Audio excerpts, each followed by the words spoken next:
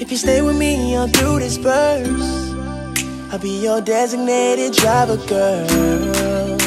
I wanna take you home, straight to the bed, and skip the pillow talk.